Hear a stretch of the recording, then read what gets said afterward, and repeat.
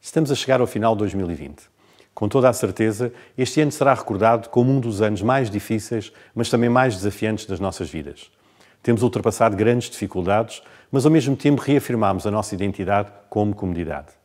Mais do que encerrar o ano 2020, importa abrir 2021 e encará-lo com esperança, determinação e com a confiança de que será um ano melhor para todos nós. Quero aproveitar este momento para deixar uma palavra de agradecimento a todos os profissionais de saúde que, no limite da exaustão, têm cumprido a sua missão pública.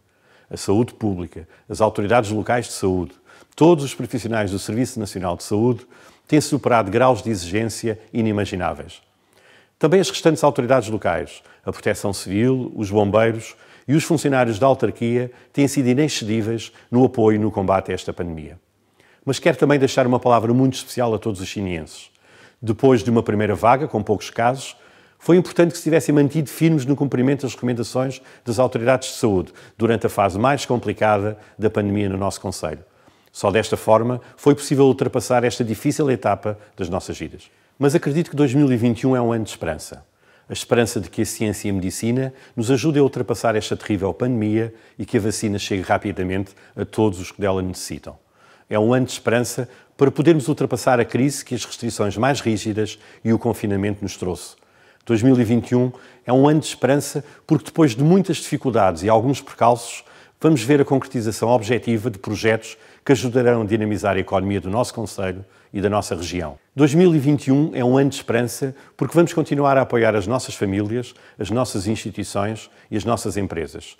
E teremos uma especial atenção às questões do emprego e da proteção das pessoas. Redobraremos os nossos esforços e continuaremos a estar próximo daqueles que mais precisam, ao lado das associações, das coletividades e das IPSS, mantendo a cumplicidade que nos une para alcançar objetivos que são comuns. Mas 2021 é também um ano de esperança, porque, como todos os anos, será o recomeço de uma nova etapa. Aprendemos muito no ano que agora termina e por isso podemos encarar este novo ano com a determinação de reconquistar a normalidade das nossas vidas. Aquilo que, em nome da Câmara, vos posso dizer, o que vos posso dizer na qualidade de Presidente da Câmara, mas também na qualidade de cidadão e de amigo, é que este Executivo, todo o Executivo, estará sempre ao lado dos chinienses para que o futuro seja um futuro mais igual, mais inclusivo e mais sorridente para todos. Um feliz 2021. Um forte e sentido abraço para todos.